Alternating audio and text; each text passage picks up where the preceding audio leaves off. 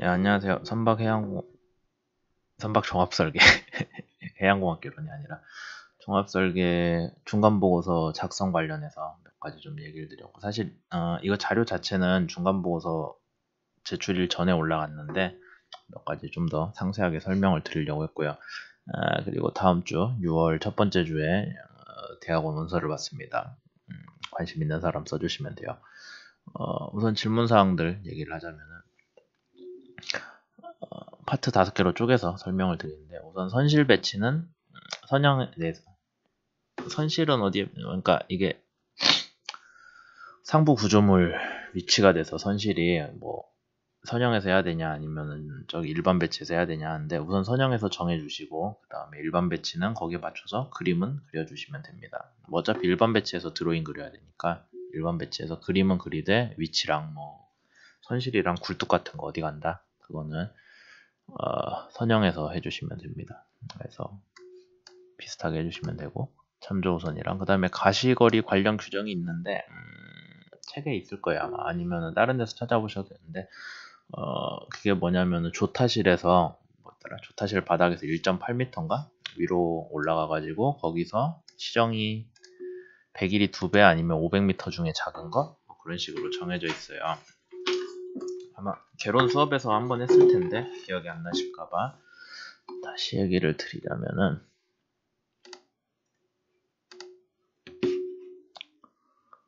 아, 개론 수업을 하던 게 떴네요.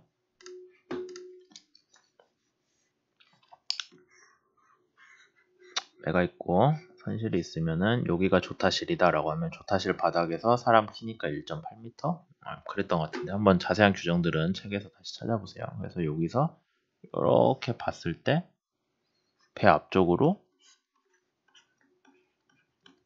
아니면은 500m 중에 작은 걸로 우리 배는 길이가 250m 넘으니까 어, 500m가 돼야겠죠. 그래서 여기 안에 500m 안쪽은 볼 수가 500m까지 거기에 그러니까 500m 안쪽까지 시야가 닿으면 좋은데 어쨌든 500m보다 시야가 밖에 가면은 안 된다라는 규정이 있거든요. 근데 이게 유조선은 딱히 문제가 안 될 거예요. 왜냐면 컨테이너선 같이 화물이 이렇게 많이 올라온 배들이나 이게 시정이 문제가 되는데 그래도 계산은 한번 해보세요. 규정이 규정이니까. 그 다음에 이제 선형 파트에서 복원성 계산을 해줘야 됩니다. hydrostatic 계산을. 선박 계산 때 배웠었고, 최종 선형이 나와야 하는 일이기 때문에, 최종 결과에서는. 최종 선형에 대해서 여러분들이 뭐를 내셔야 되냐면은, hydrostatic 계산을 하시면, 어, 정수력 hydrostatic table이었나?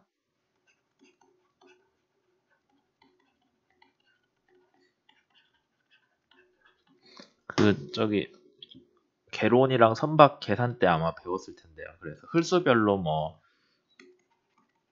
흘수가 켜지면은 배수량도 뭐 커지고 그 다음에 뭐 LCB는 어디서 어떻게 이동하고 아마 배웠을 거예요. 그 다음에 뭐지 음, 침수 면적은 어떻게 증가하고 하는 거.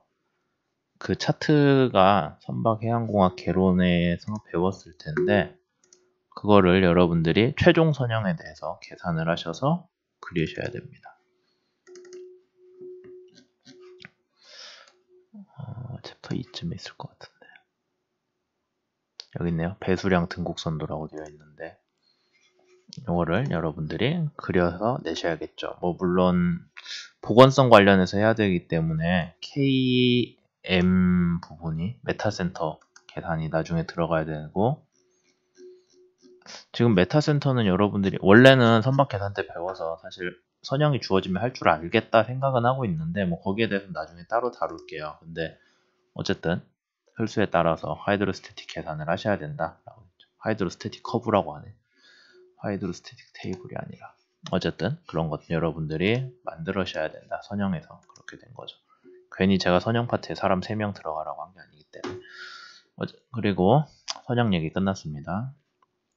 저항 추진에서 자주 문제가 들어왔던 게 EDI 계산인데 어, EDI 관련해서는 제가 따로 영상을 올릴 거예요. 정리를 해서 강의를 올릴 거고 어, 그 다음에 음, 우선 EADI 계산에 대해서 크게 설명을 드리자면 주 엔진 기준으로 해석을 하라고 했죠. 왜냐하면 보조 엔진 관련해서 여러분들한테 어떻게 하면 된다라고 안 알려드렸으니까. 그래서 사실 이번 파트에서는 그냥 EDI 계산을 손이라도 대봤으면 좋겠다 했는데 원래는 우리 수업에서 EDI는 저기 선박 설계 컨테스트 나갈 조만 나중에 따로 할 걸로 제가 생각을 했었거든요. 그렇게 계획을 했는데 뭐 저항 추진 맡은 학생들이 다 열심히 해서 그런지 EDI 얘기를 다 들고 왔더라고요. 그러니까 뭐 어차피 하시겠다고 하면 알려드리고 도와드리는 게 맞기 때문에 거기에 대해서 할 겁니다. 음. 그래서 크게 보자면은 EDI 계산을 할 때 SFC는 여러분들 엔진 선정했으니까 거기 SFC 다 써져 있어요. 그래서 NCR 경역 값으로 해주시면 되고 CF는 연료별로 얼마씩 정해져 있는데 뭐 제가 올려드린 EEDI 관련 자료 보셔도 되고 아니면은 그냥 IMO 거 찾아보셔도 똑같은 숫자 나와 있어요. 그 다음에 보조 엔진 얼마짜리 써야 되나 그거 여러분들 아직 보조 엔진 선정도 안 했죠. 저기 기관실 안에 엔진 들어가야 되는데 보조 엔진 거기에 대해서 EEDI 관련해서 얘기할 때 지정을 해드리겠습니다. 그러면은 여러분들이 거기 맞춰서 엔진도 선정을 해가지고 음, 그거를 기관실에 배치를 해야겠죠. 모르면 0으로 우선 놔둬라 라고 한 거고요. 그 다음 축계 관련해서 질문들이 공통으로 들어왔는데 어, 사실 축계 관련해서는 여기 이 축을 통해 전달되는 뭐 추력, 토크 그런 것들이 얼마기 때문에 얼마짜리 축이 필요하다 지름 얼마짜리 그런 게 딱 정리가 되면 좋은데 뭐 거기에 대해서 잘 나온 게 없어서 찾아봤더니 DMV GL이라고 하면은 음, 노르웨이랑 독일 선급인가 뭐 그럴 거예요. 근데 거기에서 가이드라인을 줬습니다. 그래서 여러분들 들어가 보시면은 뭐 어쩌고저쩌고 계산하는 식이 하나 짠하고 나와요. 여기 보시면은 계산식이 있어서 이걸 가지고 해라 라고 되어 있는데 어 크게 봤을 때 F는 100이라고 넣으라고 되어 있고요. K는 뭐 여러 가지 값들이 있는데 그냥 여러분들 상황에 맞는 거 1.2 하시면 되고 요 파트가 문제긴 한데 이게 원래는 축이 가운데가 비어 있을 때 계산이거든요. 실제로는 축 안에까지 다 채우는 거는 그 여러분들 아, 여기 아마 재료학이나 그런 데서 배웠을 것 같은데 축 비틀림 관련해서 할 때 2차 모멘트 가지고 계산하잖아요. 그러니까 사실은 얘가 축이 바깥쪽에만 재료가 들어있고 안쪽은 비어도 별 결과에 차이가 없어요. 오히려 같은 무게면 안쪽을 비워놓은 축이 훨씬 더 단단하기 때문에 같은 무게일 때요. 같은 지름이 아니라. 그렇게 되어 있어서 요거가 원래는 중공축이라고 해서 속이 비어있는 축인데 그냥 뭐 어지간하면 이게 4제곱에 비례하기 때문에 여기 안이랑 밖이랑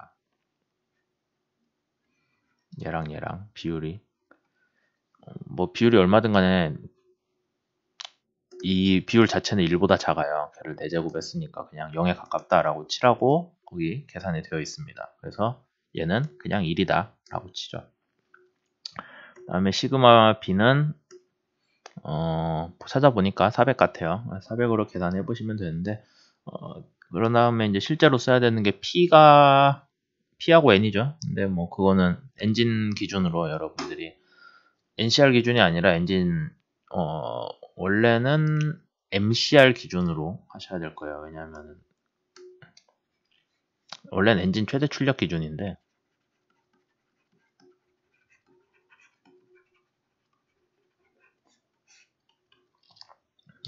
그러니까 실제 항해는 NCR로 하기는 하는데 뭐 한번 시운전 나갔을 때는 그것보다 큰 거 할 수도 있잖아요. 뭐 아니면 배가 어떤 상황일지 모르니까 그래서 거기에 맞춰야 되기 때문에 엔진 최대 스펙 기준으로 P하고 N을 정해주시면 되겠습니다.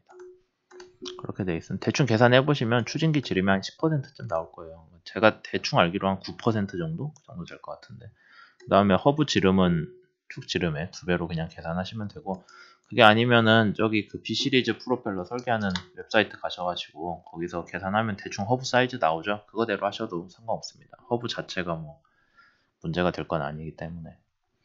그 다음 일반 배치 관련해서 이거 질문이 들어왔던 것 같은데 아 이거는 기관실 길이에 대해서 제가 뭐 얘기를 드리긴 했었는데 어, 또 경험식이 하나 더 있어서 여러분들 기관실 배치가 주마다 좀 많이 다르더라고요 값들이 그래서 이 정도 하면 된다라는 거 알려드리려고 끌고 왔고 음, 선미격벽은 잘 했는데 음, 제가 그 여러분들 보고서 받기 전에 한 얘기라서 기관실 선미 쪽 격벽입니다. 선미 격벽 위치는 뭐 잘했어요. 그 다음에 어, 빌지를 많은 조에서 설계들은 해왔는데 이제 빌지를 설계를 해왔으면 그 빌지가 선형에 적용이 돼야 돼요. 음, 그 얘기 하려고 하고 그 다음에 여러분들이 그냥 임의대로 막 손으로 계산하다 보니까 여기 이렇게 밑에 빌지로 굽어 있는데 그거 그냥 모르는 척하고 이런 식으로 계산해서 뭐 밸러스트 탱크 계산하고 했거든요. 직각으로 그러지 마시고 제대로 계산해야 된다라는 거 따로 얘기 드립니다. 가시거리 여기도 써놨네요. 음, 선형하시는 분들이랑 잘 얘기해 보시고 그 다음에 이거가 그냥 대충 경험식인데 아, 이거 그 뭐야 단면적 개수거든요. 근데 대충 계산해 보면은 뭐 한 이 정도 나오더라고요. 여러분들 배 통상적으로 보자면은 그런 다음에 그걸 바탕으로 다시 역산을 하면은 2차 모멘트가 660제곱미터 정도로 얻어지는데 어, 아마 실제 여러분들 배 계산해 보시면 그거보다 좀 적을 거예요. 이게 제가 대충 계산한 거랑 값이 좀 크게 나오거든요. 근데 어, 하여튼 대충 오더는 몇백 단위다. 2차 모멘트. 그렇게 알고 여러분들이 접근을 하시면 참 좋겠습니다. 그 다음에 방향타 설계 관련해서는 나중에 최종 보고서에 넣으셔야겠지만 설계 속도에서 음, 해석을 하시면 됩니다. 그 엑셀 시트에서 전진 속도 아마 있을 건데 그거 감안해서 해주시면 되죠. 어, 그래서 중간 보고서 원래는 이게 중간 보고서 평가 전에 올라간 건데 제가 지금 평가 전에 PPT는 올라가 있는데 제가 설명을 안 올리고 있어가지고 설명 짧게 했습니다. 한 10분 정도. 음, 사실 그게 중요한 게 아니라 다음 주에 대학원 신입생을 모집을 하고 있기 때문에 뭐 지금 이거 듣는 사람 사실 다 7학기긴 한데 혹시 8학기 있는 사람 뭐 별거 할거 없으면 대학원에 오시면 돼요. 어, 그럼 여기까지 하도록 하겠습니다.